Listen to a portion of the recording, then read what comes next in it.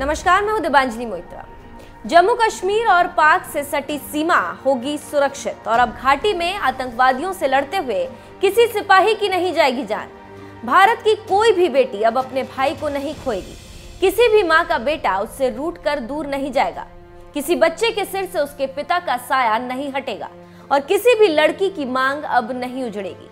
क्योंकि अब भारतीय सेना में रोबो आ गया है। आतंकियों का शिकार करते हुए आर्मी का जवान नहीं मरेगा। अब मरेगा तो सिर्फ़ और सिर्फ़ आतंकी। अब घाटी से कोई भी खबर गोलीबारी की नहीं आएगी, क्योंकि सेना को मिली छूट ने काफ़ी हद तक आतंकियों के नेटवर्क को खत्म कर दिया है। और अब छिटपुट घटनाएँ हो रही क्योंकि पाकिस्तान से भी आतंकी भारतीय सीमा में घुस नहीं पा रहे हैं, क्योंकि सेना मुस्तैद है और जो लक्ष्मण रेखा पार कर रहे हैं, वो सीधे आसमान में पहुँच रहे हैं।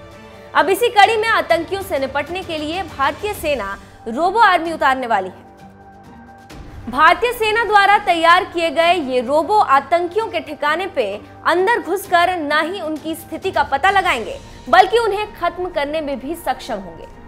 सेना के लिए तैयार किए गए रोबो आर्मी आतंक प्रभावित इलाकों और नक्सली इलाकों में सेना की काफ़ी मदद करेंगे और भारतीय सेना इस कदम से हाईटेक भी बनेगी। इतना ही नहीं पाक आर्मी जो रोज सीजफायर करती रहती है, उसके मंसूबों को मिट्टी में मिलाने के लिए रोबो काफ़ी मददगार साबित होंगे। भारतीय थल सेना को आधुनिक बनाने की दिशा में रक्षा मंत्रालय का ये बढ़ाया गया कदम काफ़ी सराहनीय है।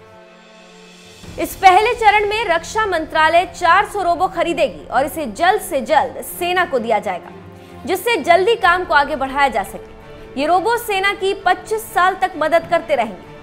रक्षा मंत्रालय और सेना का मानना है कि रोबो की तैनाती सबसे पहले आतंक प्रभावित क्षेत्रों जैसे जम्मू कश्मीर, पूर्वोत्तर में तैनात किए जाएँगे। ये रोबो आतंकवादी अभियान में होने वाले नुकसान से भी सेना को बचाएँगे। तो अब आप समझ सकते हैं कि भारतीय सेना क्या करने वाली और पाकिस्तान के पालतू आतंकियों का अब क्या होगा।